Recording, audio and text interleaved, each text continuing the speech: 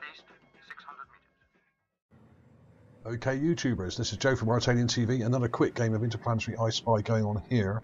Back in Gale Crater, back at Mount Sharp, yet again.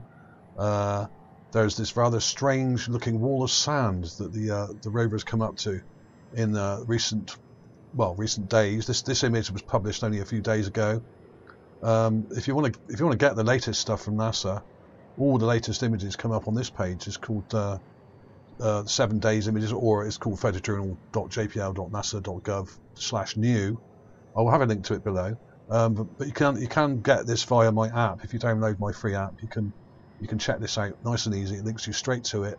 Um, if you look at the uh, the main links on, on, the research page, there's loads and loads of stuff there. This is my favourite one because this gives you all the latest stuff from Ceres, Pluto, Mars, Earth. You know, you name it, it will be here. Basically, this is the one to have.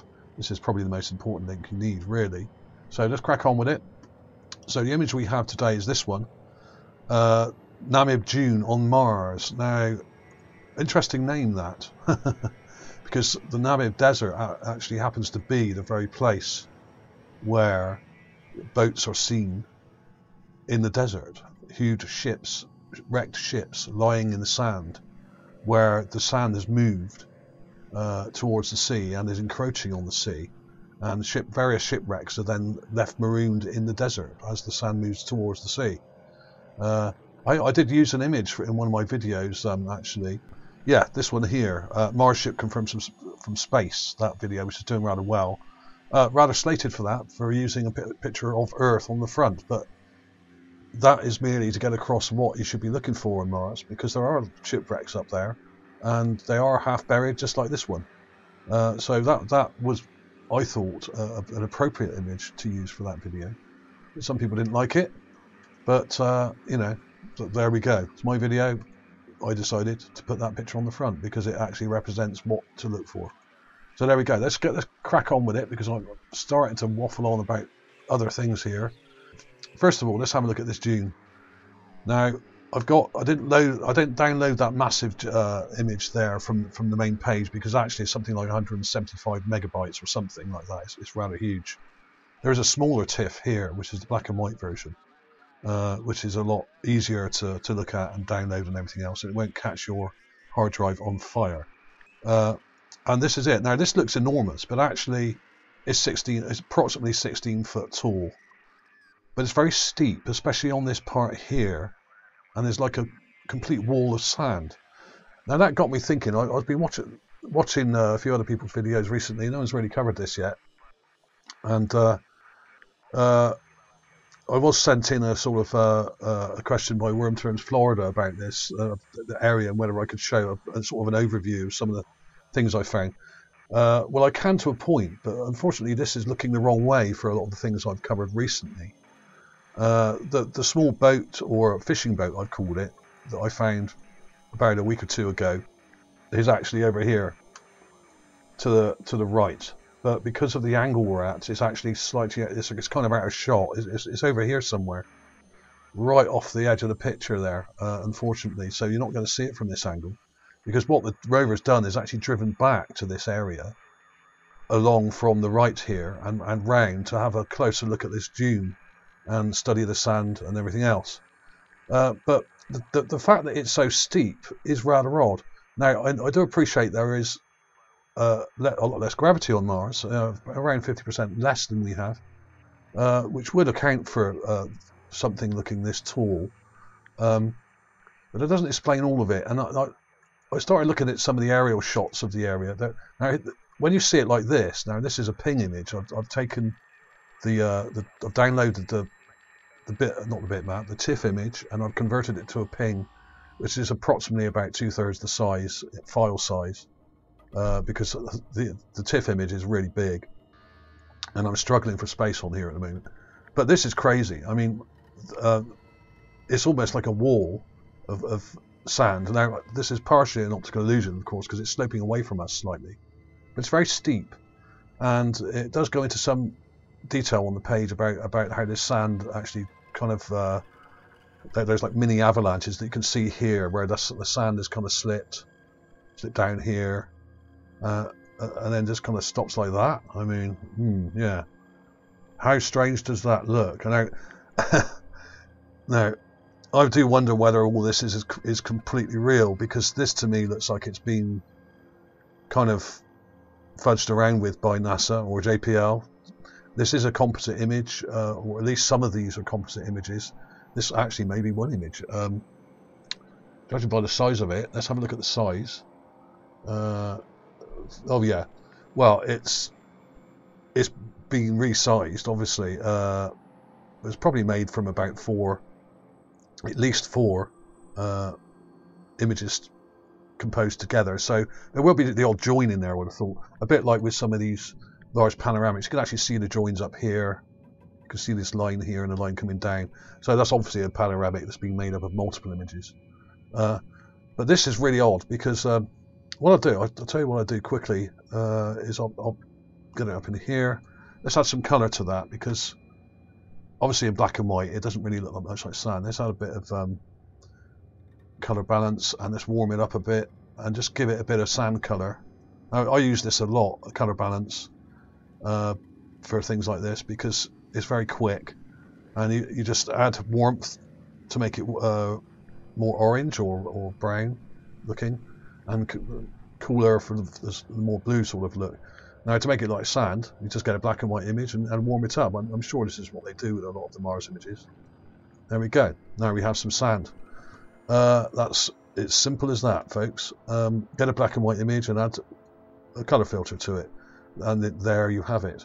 But this does look rather strange. Now I'm not saying this is fake, of course, because um, the angle we're at is rather strange also. So it does look a bit odd.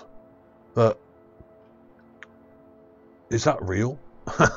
I mean, this is quite extraordinary. It, I mean, it probably because this is out of context. This particular part of the uh, area is just a kind of snapshot of the wall of sand. When you see the whole thing in its entirety, it doesn't look as steep. But the, this, to me, down here looks like it's been faked almost. Uh, very strange. Very strange indeed.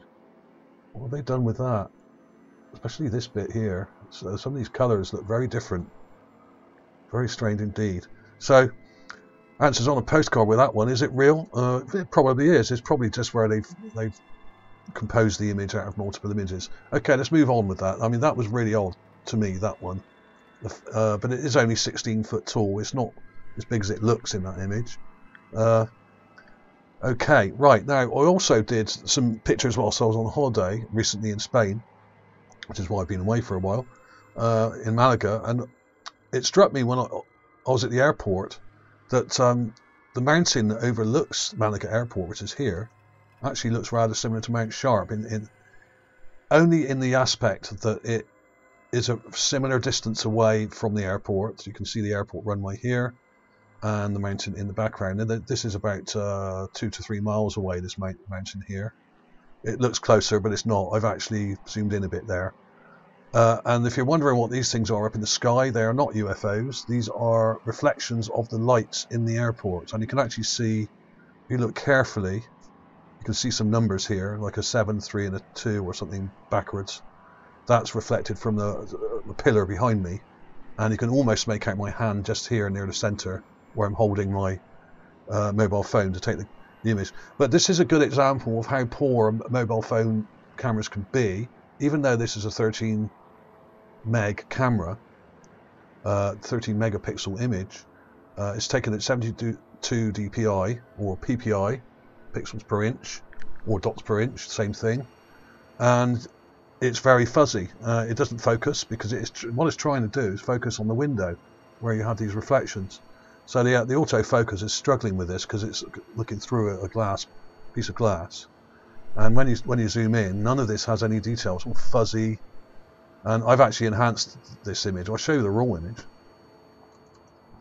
This goes to show how good the cameras are on the rover. We can actually do a better job of this sort of thing.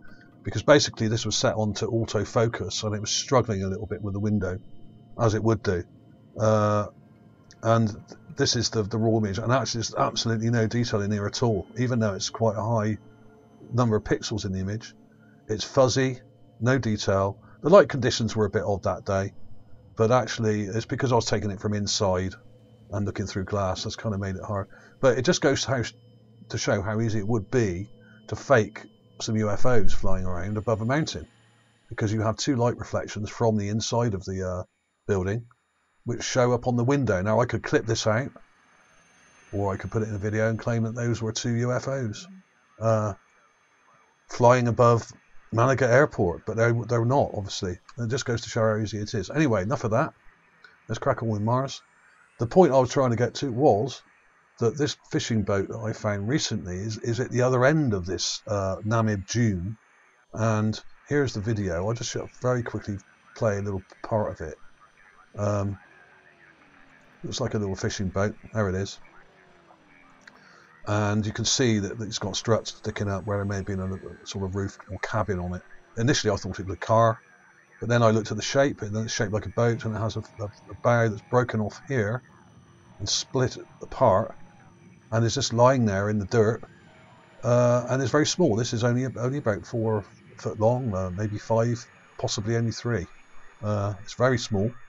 Um, uh, so what that says about the Martians, maybe it's true. They are quite small. I'm not saying they're like some people think they're one or two inches tall. I don't think that at all. I think they're probably about one or two feet tall rather than one or two inches.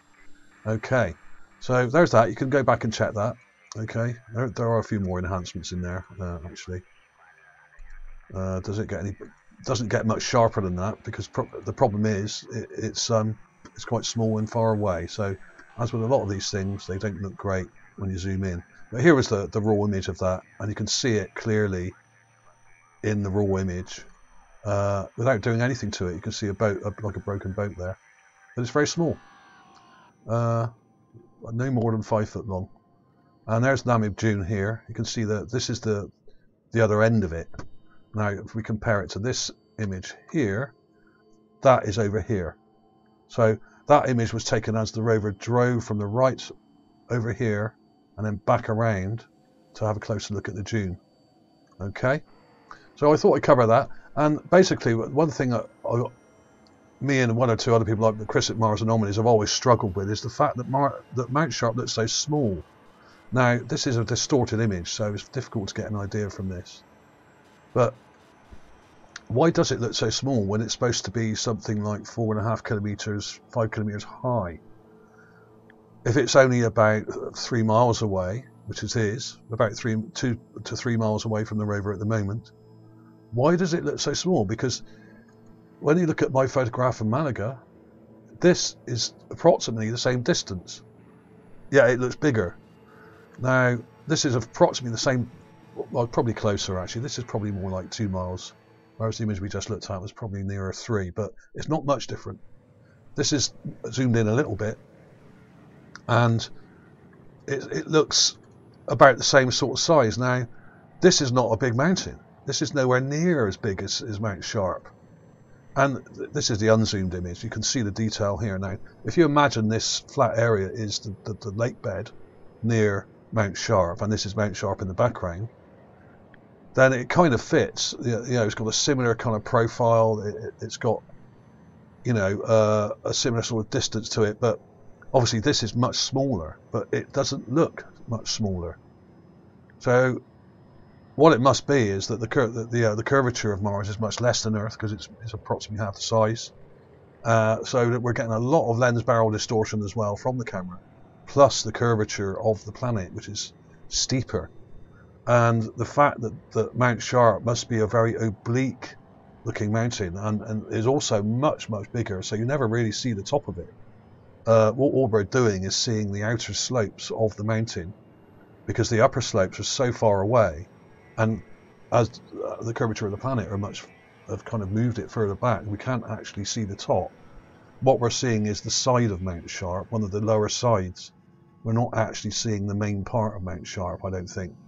Um, that's my opinion, anyway. Uh, i may be corrected on that, uh, but basically, this the, the reason I took this photo was to try and work out what was going on with the actual scale of Mount Sharp, which has been confusing us for a number of years now. And a lot of this confusion, I'm sure, is down to lens barrel distortion and uh, things like that, and also the fact that the often the, the, the rover is much further away than we think it is, and it, and all it's doing is using its powerful telephoto lens to zoom into Mount Sharp to get close-ups, which makes it look like the rover is very close, but it's not. It's just the zoom on the camera. So that is the problem when you're looking at these images. But I thought that was interesting anyway, because basically uh, Mount Sharp does tend to look way too small for something that's nearly five, you know, nearly five kilometers high.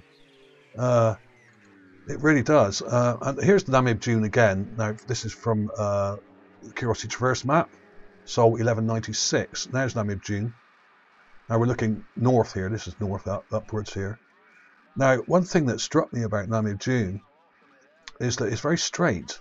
It has a very straight edge here. In fact, you can see when that little little thing came up there. Oh, hang on. I didn't want to do that. I'm, I'm too far zoomed in. Right, okay. You can see this edge here is very straight. Now, could this possibly be a building foundation here? And the dune is kind of blown up against it from the north. The, the wind's blown it down up against this structure. Now, uh, it is possible. There are other buildings in this area, and behind this dune may be a flat wall, which is why we have such a steep uh, dune here and pile of sand. It's actually leaning against a solid edifice or part buried edifice, like a large wall or building foundation. Now we have found building foundations before at places like Dingo Gap. We have covered some of them in videos before. So if any of you don't believe me, go back through my videos or any any other Mars researchers. Um, and you will find that there's uh, buildings at Dingo Gap that are very interesting and also very rectangular uh, with straight edges. Now this may well be a building, who knows? Here we go. Right. So yes, this is Namib Dune here, and you can see this is the uh, Curiosity location Sol to 1215. Sorry, 1215. 1215. So this is where the rover is now and it's actually backtracked. It, it, was up here and it's gone back to look at Dune here. And you can see this very straight edge here. Now, that is a bit suspicious to me. It looks like it may be a structure, an intelligent structure that it's that the dune is blown up against. Now, you can see a normal structure here, a normal random natural structure here, and the sand's kind of blown in a more natural shape although that's fairly straight, having said that, but that looks a lot more natural to me, as does this, a rounded dune against a rounded sort of rocky outcrop here, just here you see. So that looks normal. Uh, now, now obviously this is a composite image, you can see the join there in the middle, uh, but this was interesting here. Now I've been what, pondering over what this is for quite some time.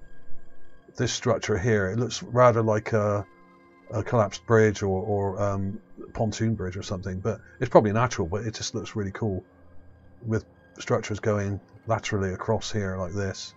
Maybe this was a bridge at one point. This was a river stroke lake bed coming through here, so perhaps there was a huge bridge here, like a road bridge or something like that, and the road just went across and right at the other side of, of Gale Crater, perhaps. Who knows? Uh, it could well have been. So there we go, folks. I'll, I'll cut it short there because I think I'm running over time. I hope that wasn't too long for you. Nice to be back uh, in the new year. Happy New Year to you all. Uh, a big hello to all my new subscribers. Thanks for joining, especially you guys from Sweden and Japan and South America and everywhere else. Uh, thanks for watching. Let's have another quick look at that. And if, if you haven't seen it already, uh, do visit my Mars Magazine page on, on uh, Facebook. It's, it's an open group and you can check out all the latest stuff on here. Lots of people uh, posting some interesting stuff. You'll always see my latest things on here and other people's. Uh, some cool stuff. NevT is really cool. He puts up a lot of stuff. His Gigapan stuff. Uh, sterling work he does there. And uh, lots of other people contributing as well. Some top Mars researchers from around the world. So do check out Mars Magazine on Facebook. Absolutely free. You can come along anytime and have a look and see the latest stories. I post things regularly, pretty much every day anything that's to do with space or Mars or Pluto, anything like that will, will be up on here, anything interesting. And also do go back and check some of my more recent videos uh, if you haven't already. Okay.